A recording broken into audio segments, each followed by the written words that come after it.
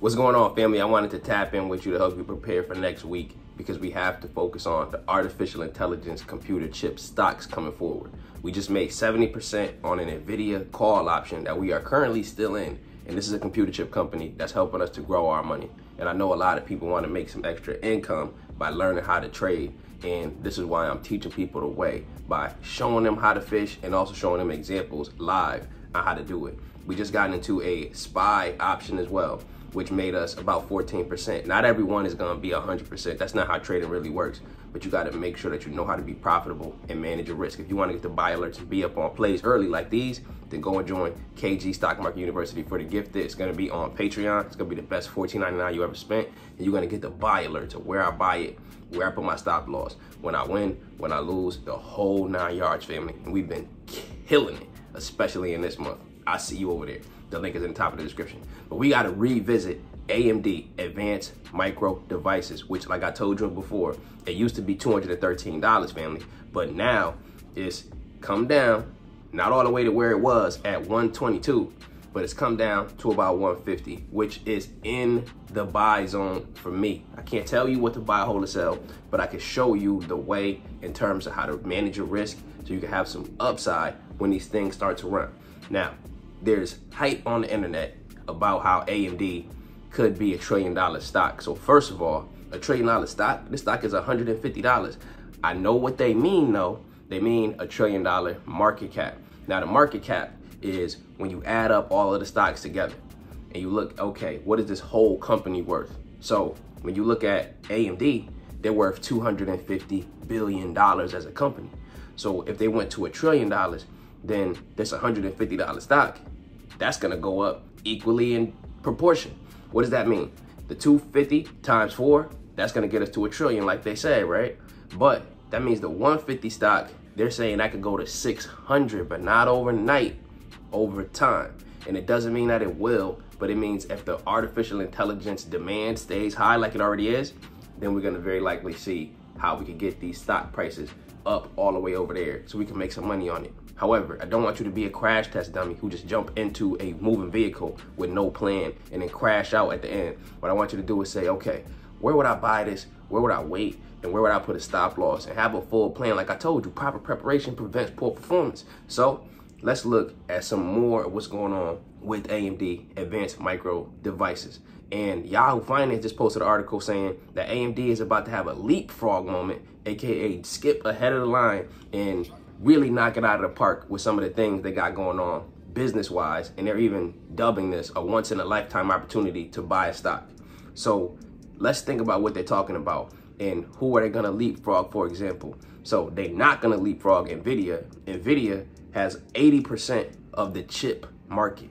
Remember, NVIDIA, AMD, these companies are selling microchips. They're called GPUs, for example. There's other things they're doing as well, but they're selling these computer chips that are in all of your devices, your phones, TVs, and now they're using them for artificial intelligence. You may have heard of Chat GPT. You may have seen Meta AI or things like that on Facebook. You may have seen them on Instagram. And you know how there's algorithms that are sending you all kind of information. I'm talking about when you be talking near your phone and you might have said dog food and now you're getting all these commercials about dog food all of a sudden. Or you might have said, oh, a baby. Now you're getting baby products and wipes and stuff. So AI is listening to you. And even nowadays, I don't know if you ever noticed this, but in YouTube, if you start to look at the comments while you're watching the video and you didn't click on the whole comment section yet, the comments will kind of change and be in line sometimes with what the content creator is talking about. So if somebody says dog in the comment and I'm saying dog in the video, it'll like link them up to try to show you. So what's going on with that? The artificial intelligence chips are processing this information extremely fast to try to help you to stay on the website and help you to stay engaged so that these big companies can make money. So when we think about these big companies making money and using artificial intelligence to do it, who are these big companies and what are they saying that we should do?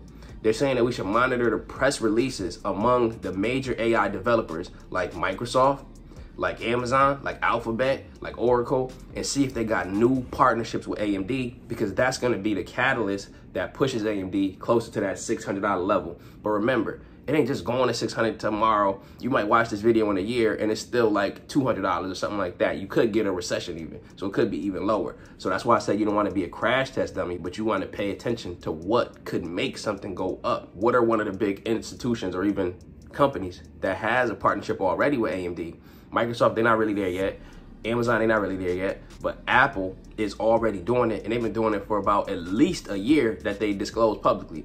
So AMD is partnering with Apple, and Apple partners with Intel for CPUs, which is a different kind of computer chip, and they partner with AMD for GPUs, right? So those are the graphics ones. So when we start to get these artificial intelligence phones, that's gonna come out with Apple, allegedly the Apple iPhone 16 and the 16 Pro Max and all of that is supposed to be the heavy artificial intelligence Apple phone. They supposed to be partnering with AMD with a lot of that. So we want to see if Microsoft is trying to jump on board after they see Apple do it, if Amazon trying to jump on board after they see Apple do it, and let's look at what's going on with AMD even this day.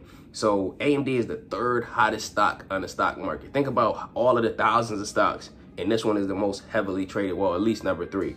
NVIDIA is number one, mm, another computer chip company, right? Tesla is number two. Tesla is working with the robo taxis. And you know what? That's going to use those GPUs, those computer chips, those CPUs to help them with their artificial intelligence so the cars can navigate on the road effectively without mowing people down on the sidewalks. So we thinking to ourselves, hmm, the top three stocks right now that are trading are related to artificial intelligence and their potential. Remember, we could end up being in a bubble. So I want you to think I'm just overhyping artificial intelligence. You always got to have your risk management. That's what a lot of new investors just forget about. They always think about what they could make, but they never think about what they could lose. So you got to think risk versus reward. That's how you are a real risk manager and how you're going to really make some money on this market or give it all up and give it all back to Wall Street because they expect you to be behind the eight ball. They expect you to be late to the party. They expect you to be slow to the show. So we got to say, you know what? I'm willing to risk X, Y, Z, but I ain't willing to throw everything at this at a YOLO. You only live once. Hope this works out. We don't trade like that, family. We got to make this money. So we got to learn, but then we take the L off of that so we can earn.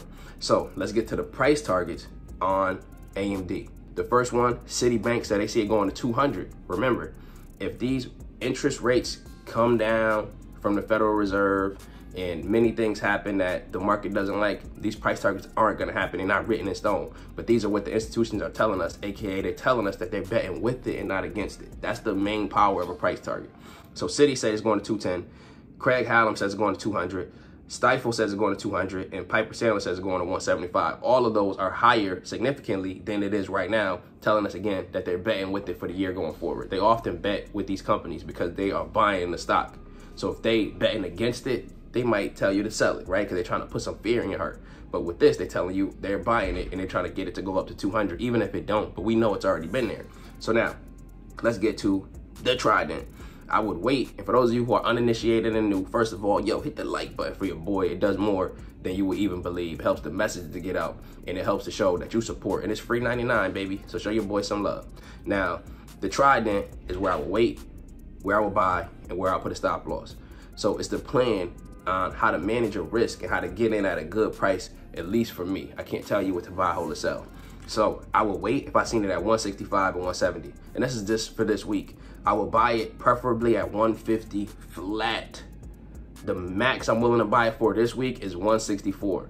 And then I'll put a stop loss on 147. So if I bought it at 150, which I would want to do, and I really loaded up. And then it came down to 147. I lost $3 per each share that I bought, which, you know, I could take that hit. It's okay. It's not that crazy. It's not like watching it go from 150 all the way down to 100, all the way down to $50. You understand what I'm saying? You got a plan. Proper preparation prevents poor performance. Those are the five P's.